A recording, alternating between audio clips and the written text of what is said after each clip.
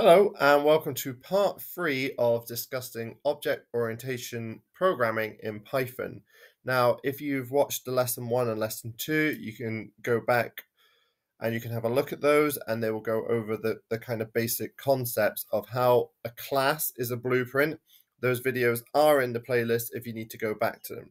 Now, we're going to do something slightly different today. We are going to talk about something called inheritance.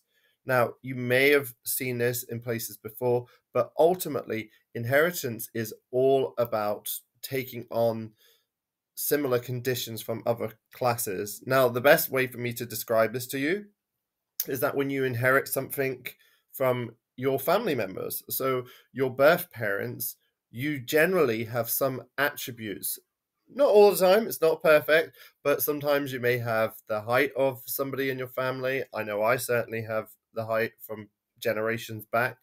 Uh, eye color, it may be facial features, just the way inheritance, you're taking on attributes, you're taking on behaviors from your family members. Now, what we have is we have a parent class. Now, in this example, I'm going to split this into two, but in this example, we have our parent class here, and that class is called person. Now, what I've got here is I've set up this class so that it's got their name, their age, and their date of birth. And you'll notice I've set up my method. So my method here is a description of that person. And what it does is it takes in their name, age, and it says the date that they were born. So we can reuse that for different people for different scenarios. And it returns that, that description as a variable so that we can print it out. Uh, we also have our language that the person speaks. Okay, so we are writing a program here that allows different people from different cultures, different backgrounds. And what we've got here is speak info. So I've created a variable and I've again taken, because I've used self, I'm able to use my variables that I've created here. Uh, I'm using name and saying what they speak. Speaks is the parameter passed in so whatever language I put in and a full stop. And again, that returns it. So what I've got here is the instance that I've created of the class. So we've got the basic basics makeup of the of the class here. Now what we've then got is Ray is a person and there's name, age, and date of birth.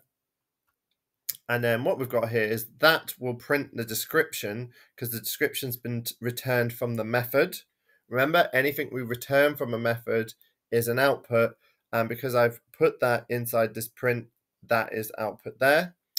And then we've also got my method here called language. And when I put in the text English in there, that is passed into the parameter.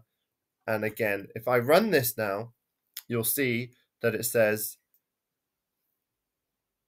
just waiting for it to load. Ray is 36 years old, born on the 24th of the 8th, 1986. So what we've got here is the description was printed out because that was what was returned. Re remember, I created a variable to keep all of that in, and that's what's been returned. And then ray.language, I passed a parameter into my class, and I output it there. Now, that is a reminder of what we did. Now, moving forward, what we can do is inherit features of the class. All right. So I'm going to start off by inheriting and creating some new classes. All right. So what we're going to do is I'm going to create classes for different languages. Okay. It will become, it will make sense in a minute, but I'm going to inherit the person.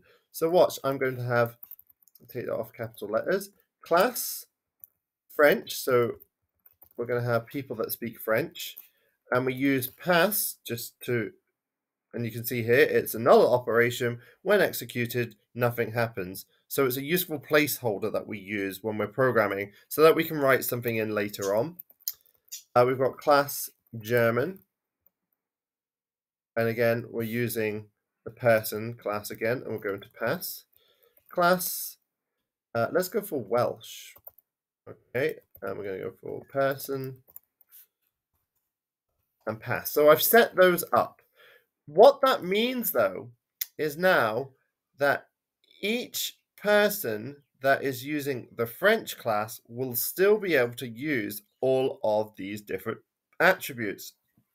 So I'm just going to demonstrate how that might work here. So I've got Ray, who is using the, the class person, but watch what I'm going to do here. Uh, we're going to have, uh, let's go for Bridget equals person, uh, sorry, so Bridget equals German.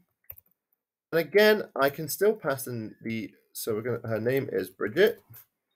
She is, just to save me time working out date of births, I'm just going to do 24th of the 9th, 1986. All right. We're going to print out Bridget dot description. So that now will print that out. And again, print Bridget dot language. And I can put that language in there. So I'm going to put German. Now you're probably thinking, what was the point in this? I will show you in a minute. So if I run that now, it now prints out Bridget, okay? I could do the same, or let's go for uh, Glyn equals Welsh. Uh, his name is Glyn. He is 40 and he is the 13th of the 9th and we're going to go 1982. Okay. Print. Glyn. Dot. Description. And again print. Glyn. Dot. Language. And the language he speaks. Now, this is the cool thing when we are using inheritance. We don't always have to use the features that are in the original class. What we can do is we can overwrite it.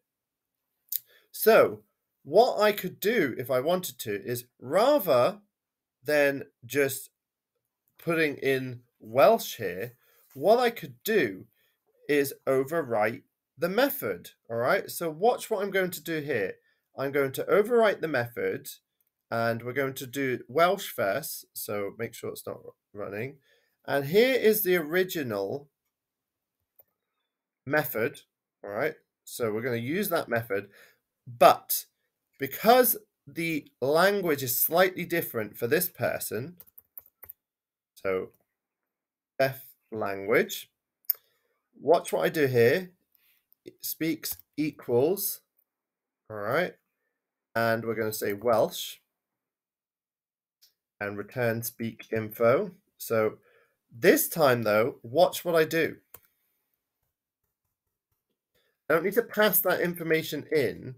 What I should be able to do is actually override the class behavior with a behavior for this class that has inherited everything. So let's run this. And can you see, it still says Glyn speaks Welsh because what I've done there is I've changed the behavior of this class. I'm going to do the same for German now. So I'm going to remove this.